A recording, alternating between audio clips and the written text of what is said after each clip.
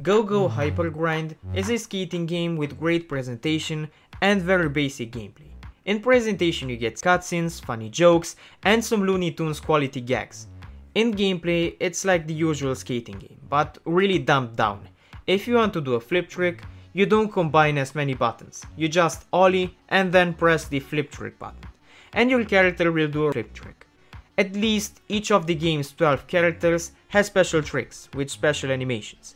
There are 8 maps in the game. As game modes you get free ride as a single timed run, an endless run, and a tutorial run. There's also versus battle mode and there are mini games you can play with a friend. And even a mode called push, where the player that gains more points starts pushing the other characters off the screen. And the story mode has you playing one of like 5 mini games.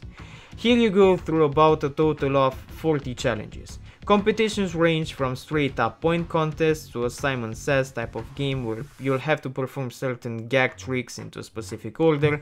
You can breeze through the game easily, but at least each character has different endings, which adds more replay value, if you want to find out the ending of each character that is. Also by playing you get currency, with which you can unlock stuff in the shop. And here items aren't just for show. With items you boost your stats. Overall the game is great.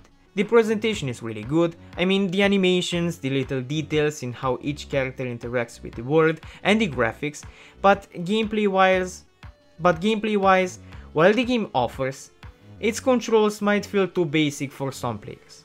So because of the basic controls, I recommend the game only to casual gamers and kids. Because anyone wanting depth in controls or a challenge will be disappointed. Still, I consider the game great.